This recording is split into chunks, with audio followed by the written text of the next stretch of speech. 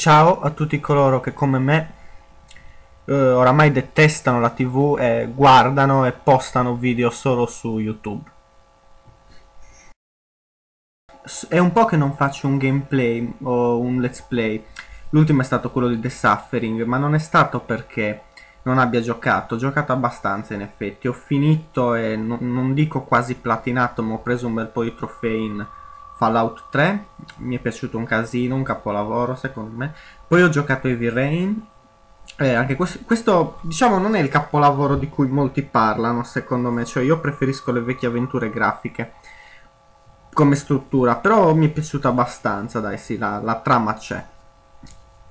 Poi ho giocato Resident Evil Code, Code Veronica. Eh, non l'ho comprato HD, dal, cioè non sono d'accordo con le politiche che sta adottando la Sony in questo periodo. Mi sento abbastanza inculato dalla Sony, ad essere sincero.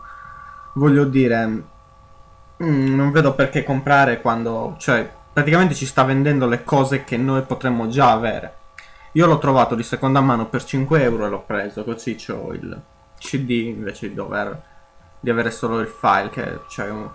Poi adesso io non so tanto bene ne- come funzioni, ma non credo che sia tanto comodo neanche in caso ti fonda la PlayStation, cosa che succede tutt'altro che raramente, a me soprattutto, per la fortuna che ho. Comunque mi è piaciuto tantissimo anche Code Veronica. Eh, vabbè, ma adesso guardiamoci un po' di questo video.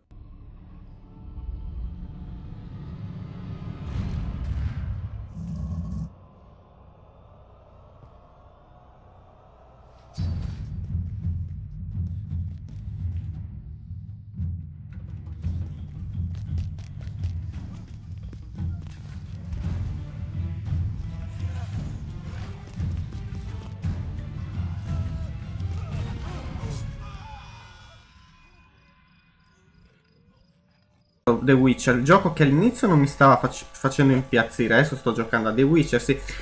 Mm, all'inizio mi stava facendo veramente cagare, tanto che stavo pensando di farci un, un gameplay alla Ganon 3, fo- 3 3 Ganon 3 Force, è un, un- uno youtuber che fa video su Skyrim, eh, urlando dicendo che fa schifo. Si può essere d'accordo oppure no, io, io personalmente lo trovo molto divertente questo The Witcher a me non stava piacendo perché un- credo che abbia uno degli intro più degli inizi gioco più brutti possibili per un GDR cioè all'inizio non sembra neanche un GDR sembra un gioco di ruolo sembra un, bo- un brutto gioco d'azione con visuale dall'alto.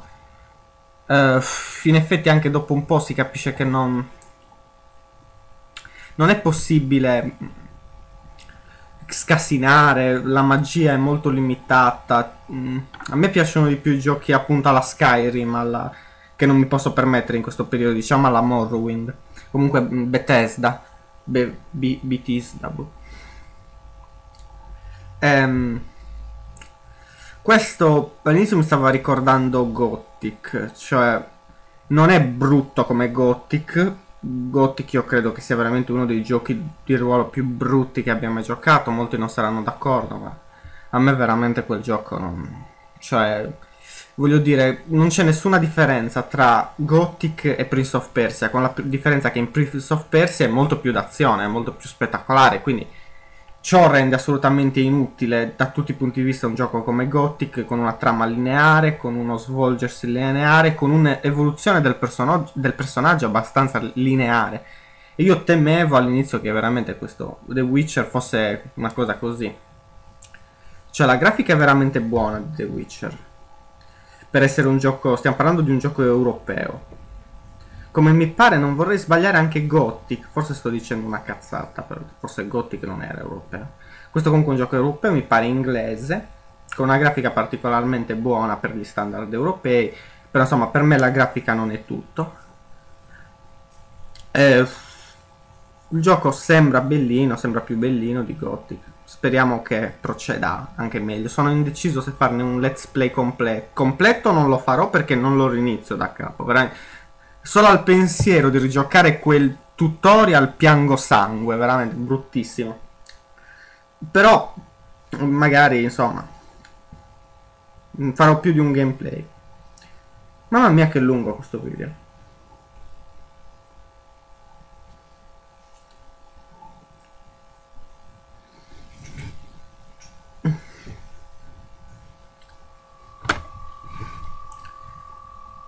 A differenza che col gameplay che ho fatto di The Suffering, questa volta mh, non farò un gameplay in diretta, cioè che parlavo mentre giocavo. Qui invece registrerò e poi parlerò. Cioè, poi ci parlerò sopra riguardandomi il video. Perché voglio provare così, voglio cambiare. Anche perché nell'altro gameplay dopo un po' mi rendevo conto che non, av non avevo più nulla da dire. Il video rimaneva molto vuoto di dialogo, il commentario.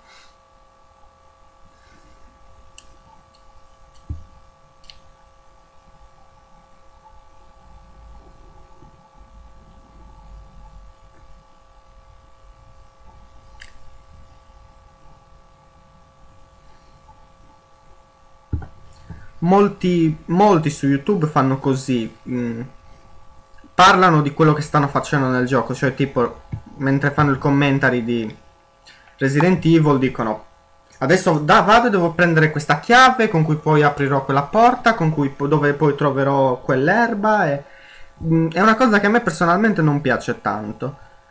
Mh, mm, perché voglio dire è ridondante, no? Uh, poi anche non so anche i vlog dove uno si spara la telecamera in faccia e parla è una cosa che non mi fa impazzire, cioè mh, ce ne sono di belli, sì certo che ce ne sono di belli e sono comunque utili, però io voglio fare, mi è venuta appunto quest'idea, non sono l'unica a farlo, già qualcun altro lo fa, che mi piace molto di fare dei, dei gameplay e di parlarci sopra di un argomento estraneo al gioco, tanto voglio dire uno che guarda la soluzione per vedere il gioco lo vede e in più magari può ascoltare un, se vuole ascoltare un qualcosa di diverso.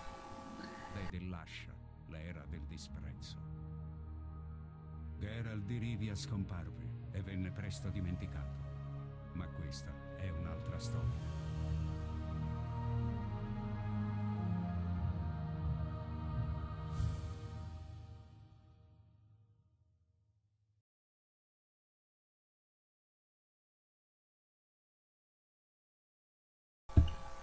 In questo mio primo video vorrei in questo primo video di let's play di ammesso che sarà un let's play completo di The Witcher vorrei parlare di, della situazione della questione con Paolo Villaggio e la Sardegna. Eh, di recente o cioè questi giorni si è arrivata la notizia che forse i pastori sardi hanno raccolto le firme e hanno denunciato Paolo Villaggio eh, per una battutaccia orribile che aveva detto su, su Rai 3 dove era ospite. Come ho detto non guardo la tv quindi non ho visto il programma in diretta, cioè il programma in Rai, ho, visto solo il pezzo su YouTube registrato e caricato su YouTube. Era una, battuta squallidissima, l'unica che poteva ridere di quella battuta era appunto la, la Mussolini che era lì presente e che come ha sentito che la battuta era appunto qualcosa come i, i pastori sardi stuprano le pecore, questa era la battuta proprio in sé cosa ci sia da ridere, a parte il fatto che è vecchia, come quella dei sardi che parlano al contrario. Ah, eh, se non ve l'ho detto io sono sardo. Sardo io sono, quindi la cosa mi tocca abbastanza da vicino, però mh, mm, la questione è che io comunque non mi trovo d'accordo con questa denuncia perché a parte il fatto che a me comunque come comico Villaggio piace abbastanza e non sarà certo per questa battuta che smetterà di piacermi. Cioè ha fatto tanti film di merda Villaggio eh, come tanti comici italiani. Il comico italiano che non ha fatto un film di merda non esiste anche Totò ha fatto film di merda. E Villaggio non è neanche uno dei più scarsi ha fatto tanti film ha una comicità un po' sua e ha la comicità nel sangue sicuramente, è anziano, cioè voglio dire, oramai è uno che fa tante battute, sarà anche lecito sbagliarne una, dico io.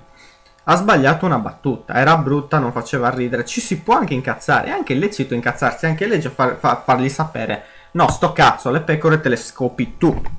Questo è giusto, però denunciarlo è sbagliato perché è veramente berlusconiano. Cioè, io ci siamo liberati di Berlusconi e, e, ci comportiamo noi da Berlusconi.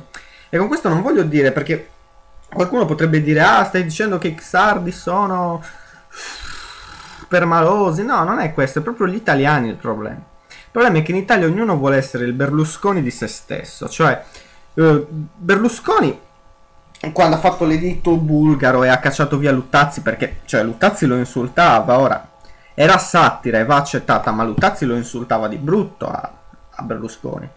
E lui ha buttato fuori, ha fatto buttare fuori Luttazzi appunto, Santoro e Biaggi, su Biaggi non si sarebbe dovuto proprio permettere, ma comunque eh, ha sbagliato tutto Berlusconi, non c'è niente da fare. Però Berlusconi era il male appunto.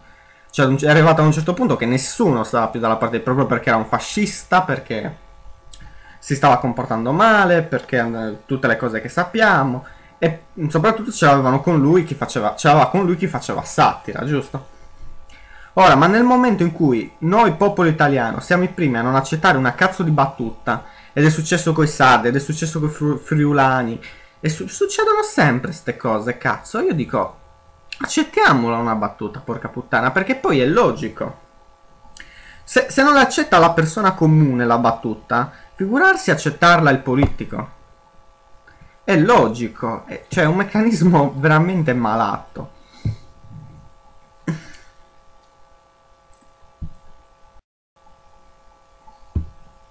E poi parlandoci chiaramente, voglio dire, il motivo vero quando si fanno queste cause ci si può prendere in giro con questioni di principio, di non principio.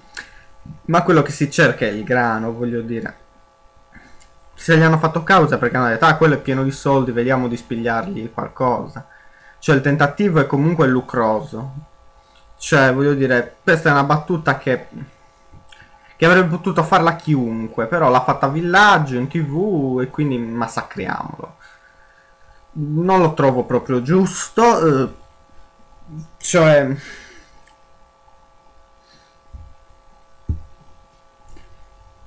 Credo che davvero dobbiamo iniziare a chiederci se abbiamo il governo che meritiamo e se i parlamentari e i politici sono non ci rappresentano oppure molto più semplicemente sono lo specchio del paese. Ciao a tutti, ci vediamo col prossimo gameplay, ciao!